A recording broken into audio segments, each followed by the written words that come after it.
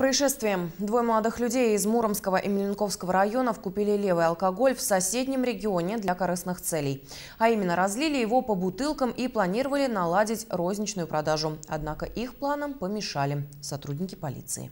Из гаражей и складских помещений изъяли 40 тысяч бутылок водки, более 800 бутылок коньяка и 8,5 тысяч литров спирта, не имеющих маркировки акцизными марками.